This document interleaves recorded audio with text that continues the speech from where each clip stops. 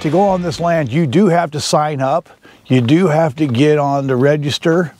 And you'll see here,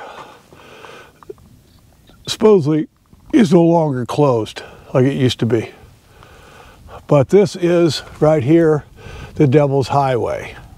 Right here, and then here's where we are today. We're going on Charlie Bell Road right there. And we've registered, and now we're gonna get on the road. So we're on the right road, big boy? We're on the right road. We're on the road to glory, and glory is what we seek.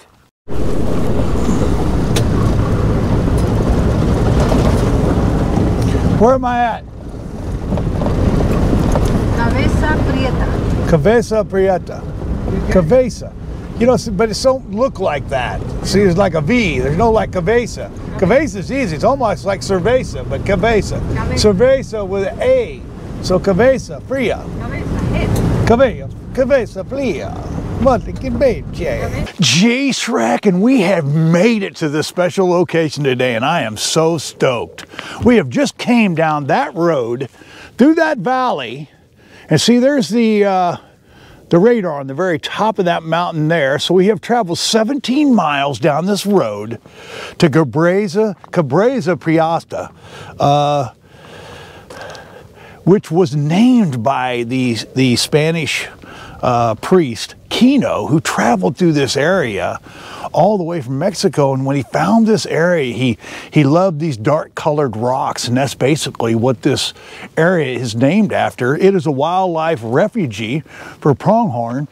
Uh, so we're out here, and one of the most beautiful things that I've ever seen in my entire life is right here. Look at that.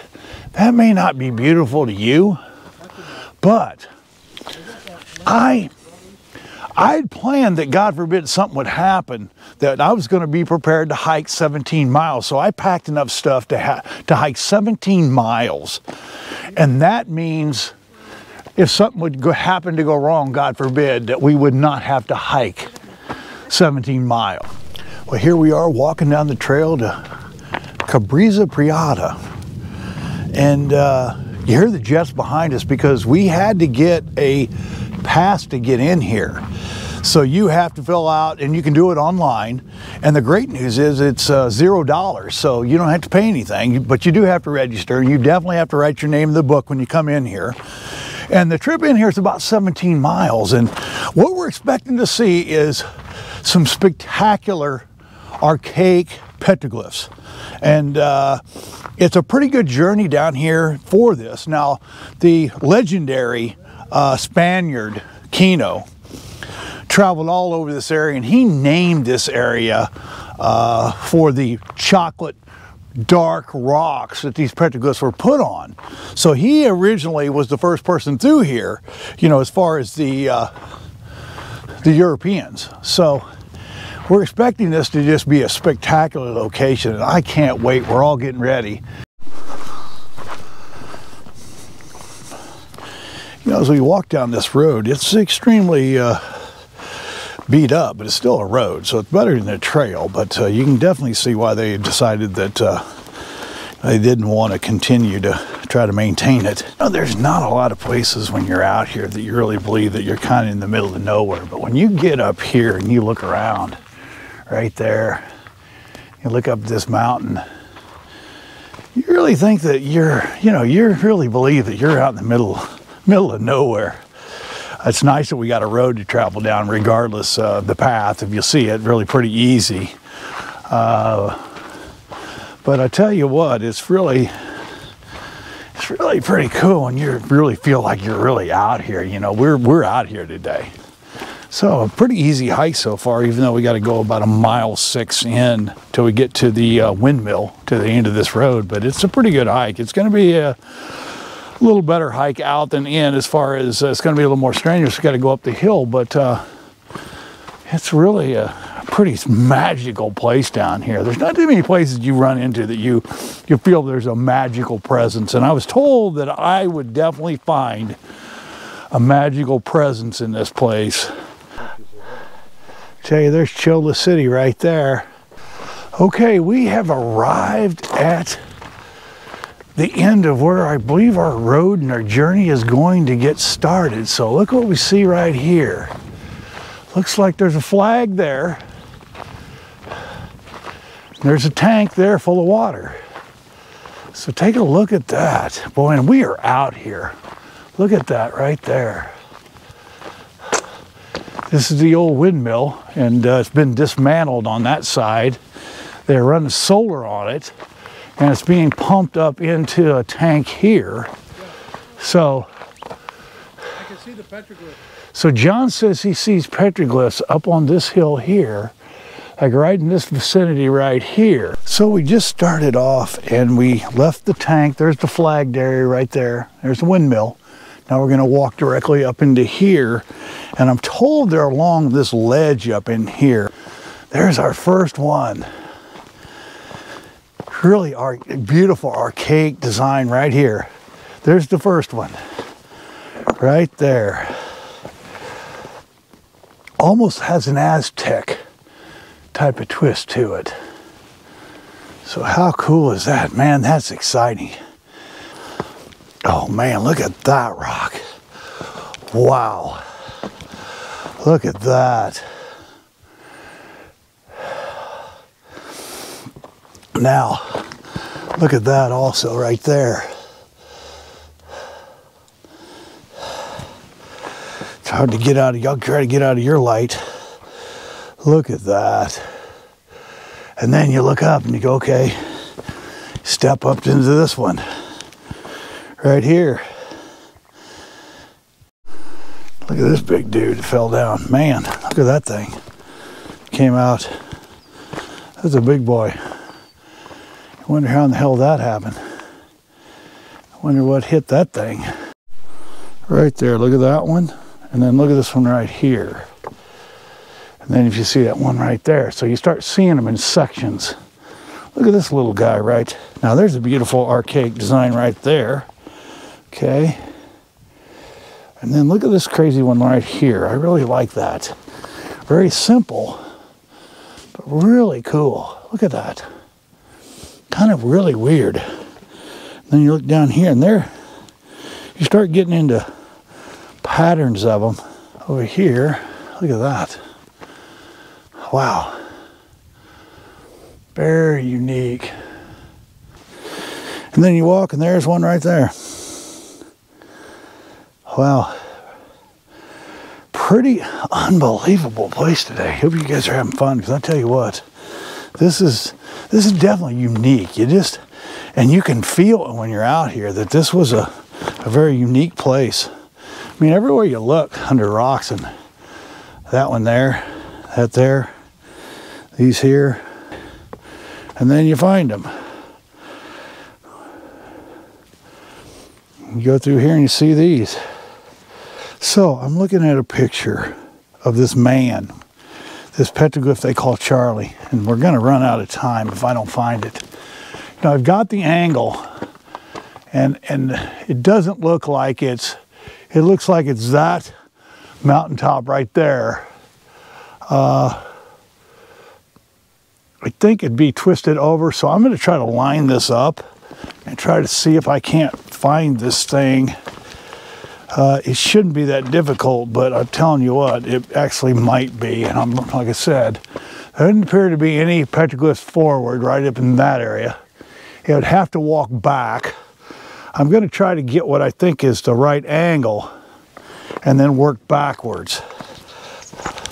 But these boulders that are at this angle are bigger boulders is what it appears. So let's work to, to the right because we can't go home without finding it. We don't want to be another duck where you take three trips out. Oh, look at the grooves in that. How beautiful is that? That is gorgeous. Okay, I'm pretty stoked right now. You know, this is one that, again, you know, if you get a picture and you try to start to line stuff up and then you line it up and then all of a sudden you you see it and uh, there's Charlie right there. Look right there. Isn't that awesome? And you know what's really cool about Charlie being right there? That's the first thing it's kind of looked like some creature. Everything else has been, you know, totally archaic. And even though that might be considered archaic, right there, a lot of thin line stuff. Put that one on the list, definitely. Look through here. Look at this beautiful thing. Look how beautiful that is.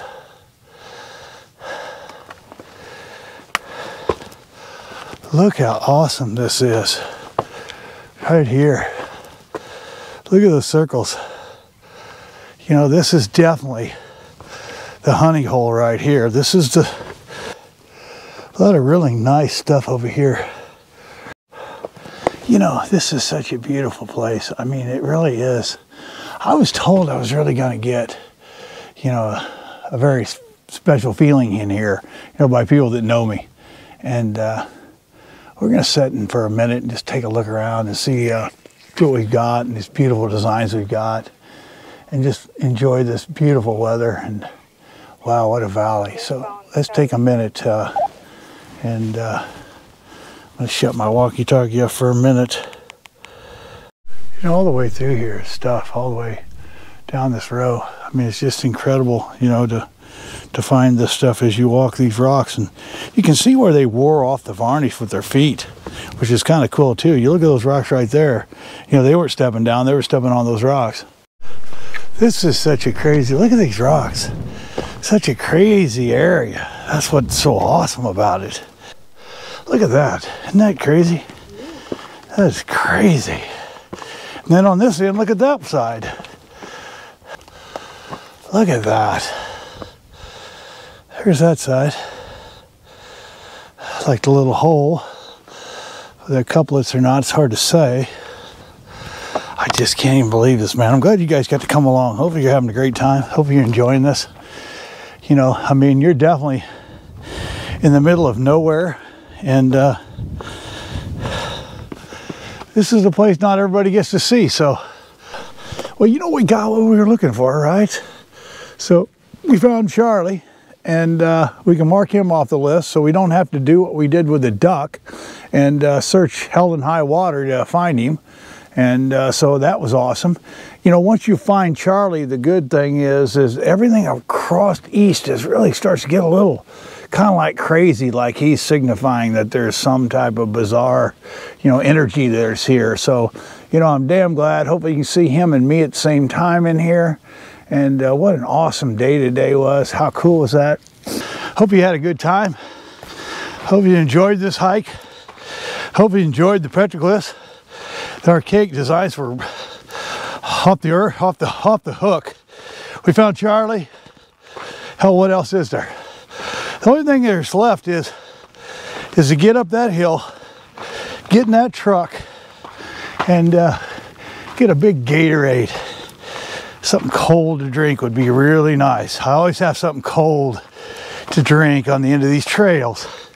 It's kind of a bonus. So got a steep section right here, but uh, I'm gonna let you guys go and I'm gonna get up this hill and call it a day and get ready for our 16, 17 mile drive, which really was not bad considering what it could have been.